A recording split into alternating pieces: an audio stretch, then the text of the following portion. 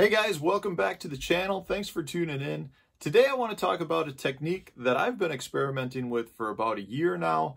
Uh, it's relatively new to our country, but it's something that they've been doing over in Japan for, a, for quite some time. And specifically, what it's called is the Gika rig. This is a pre-made one by Gamakatsu. I believe there's a few other companies that have a pre-made rig as well. Uh, you know, it's really pretty straightforward. It's a weight to a split ring that's, you know, mounted onto an EWG hook. So when you tie the line, you tie it to the split ring and you've got, uh, you know, a bait that's hanging off the side and a weight that's coming down on the bottom. And what's cool about this technique is it's a cross between a lot of other techniques. You know, I feel like it's kind of like a drop shot because the weight is holding the bait up off the bottom it's kind of like a Texas rig because you've got a weight with a big, you know, weedless EWG style hook that you can put really whatever plastic bait that you want onto it. And it's almost like a swing head in that the weight and the hook are separate. So when you're bringing this across the bottom, you know, the, the hook is not being manipulated by the weight. It's all free from each other, which gives the bait a lot more action than you would have if you had a Texas rig with a pegged weight to the bait. So it's it's a cross or a hybrid between a lot of different techniques, and that's what makes it so cool. You know, I've been doing this for roughly a year, and I've had a lot of really good success in several different situations. So, you know, the first thing I want to mention is the bait. You know, like I said, you can really mount any sort of plastic onto this that you want. If you want to put a soft stick bait on, you can do that. If you want to put a big creature, a craw, a worm, you can make almost anything work. For me, you know, some of the my favorites, I love I love a beaver style bait. This is the Max Scent Creature Craw.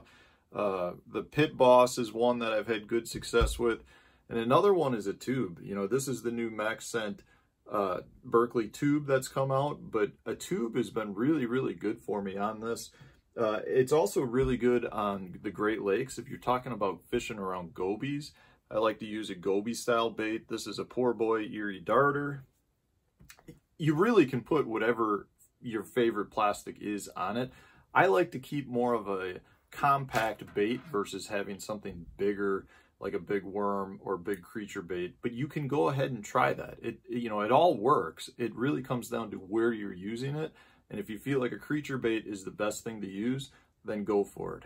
So where have I had success with this? Well, the first thing I'm going to point out is because it's a good weedless bait and it's streamlined, I've done really well fishing brush piles, you know, deeper brush piles with it.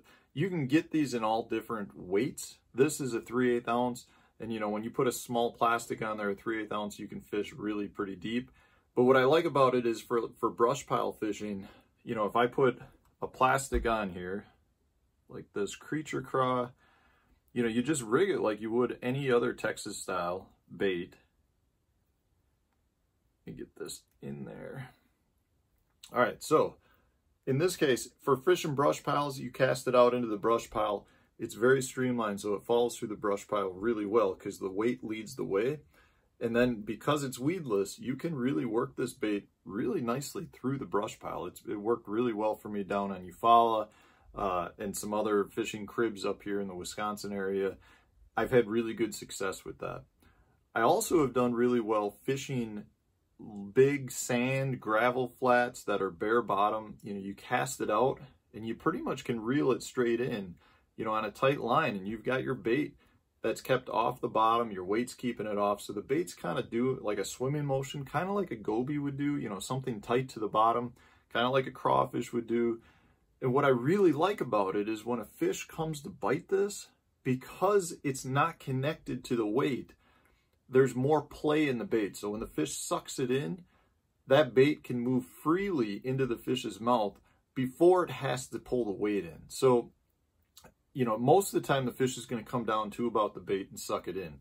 Well, when that happens, they're going to be able to at least get a portion of the bait in before having to pull the weight in as well. Whereas if you had a Texas rig plastic that had a pegged weight, in order to suck the bait in, the fish has to suck the weight in from the beginning as well.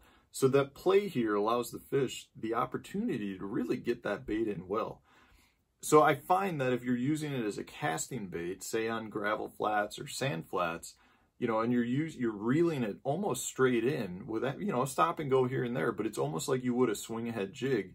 You get really good hookups because the fish are coming down and they're able to pull the bait in before having to suck the weight in as well.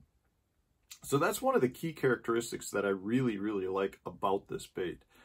Another place I've seen it shine really well is when I'm bed fishing. You know, sometimes when you're bed fishing, you'll have a fish that only wants the bait on the bottom. Sometimes you'll want a fish that only wants the bait suspended off the bottom. And this is kind of that happy medium. You know, you, you can keep the bait tight or keep the line tight, keeping the bait out of the bottom of the bed and off the bottom. And you'll get some of those fish it, that only want the bait suspended. You'll get them to bite it. But at the same time, you can keep the bait on the bottom. So if it's a fish that only wants it on the bottom, you can target that fish as well. So it's kind of that happy medium that works really well on bedfish. So that's another thing that I like about it.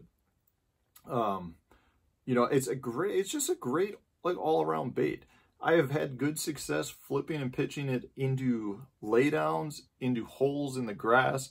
Because it's Texas rigged, it's weedless, and like I said before, when fishing brush piles, you get that streamlined fall because that weight draws it right down in the hole. So I got to say, guys, I'm I'm impressed with it. You know, when I first saw it, I didn't like how spread out the weight was from the bait, and I kind of was questioning it. But there's a reason it's very popular over in Japan, and that has to do with the fact that it works. They're catching a lot of fish doing it, and you know it's a it's a you it's an easy rig to put on whatever favorite plastic you have. So it just allows you to present that same favorite plastic bait in a different manner, and it's something that the fish haven't seen. So one thing I do want to point out with this is you know, you can build these on your own re relatively easily.